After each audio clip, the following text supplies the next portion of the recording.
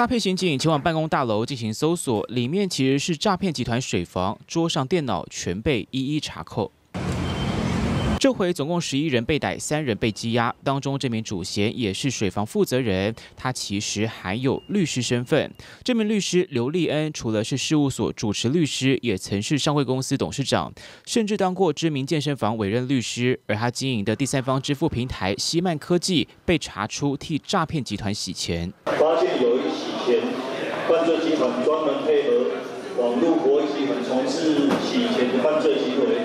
警方不止查扣上千万元的现金，还有四辆名车、名贵茶叶以及名酒，并申请扣财一亿元不法金流。这件西曼科技从去年六月到今年八月，协助赌博诈骗公司代收代付、帮忙洗钱，等同水房。十五个月经手至少三百二十三亿，收取手续费多达两亿七千万，支付赌客赌金两百四十八亿，获利至少六亿元。不过他被收押住进看守所，还有一名比他更知名的室友。